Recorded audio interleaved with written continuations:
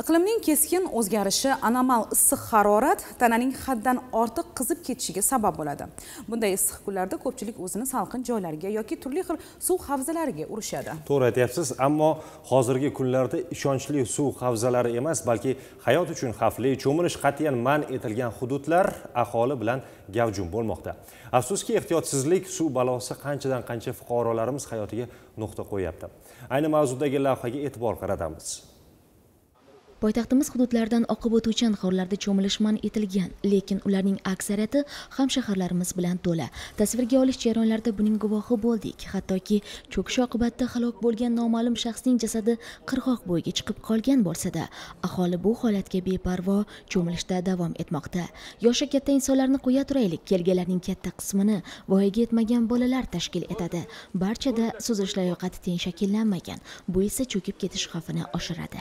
Nima uchun hayotlaringizni xavf ostiga qo'yib bu yerga cho'milishga kelasizlar qarang qirq besh gradus issiq bo'lyapti hozir to'g'rimi? Cho'milgisi keladi. Ilgari ota bobomiz aka ukalarimiz cho'milgan paytda mana shu bemalol cho'milishgan cho'milish man etilgan ho'p nima qilish kerak? Cho'milish kerak baribir. Isib ketdiyu odam. Har xil vaziyat bo'lishi mumkin. Endi olti yetti yoshdan beri mana shu kelib cho'milaman. Mutaxassislar ma'lum qilishicha 2021 yil holatiga ko'ra 110 nafar inson cho'kishdan vafot etgan. Achinarlisi ko'rsatkichning 50 foizini yosh bolalar tashkil etyapti.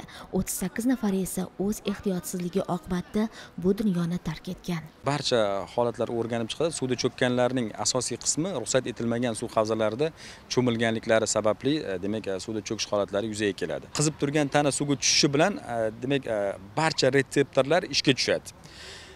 Va tortishni boshlaydi. Oddiyroq olganimizda demak nerv tolalari tortishib qoladi.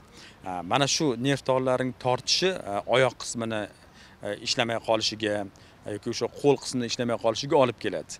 Bu albatta insonlarni shunday paytda suvda cho'kib ketishiga olib keladi. Favvoralar ob havo iqlimini mo'tadillashtirib shaharga ko'rk bag'ishlaydigan suv inshootidir kuzatuvlarimizda ushbu maskan hududlarida cho'milayotgan bolalarga duch keldik. To'g'ri ular yolg'iz emas ota onalari hamrohligida.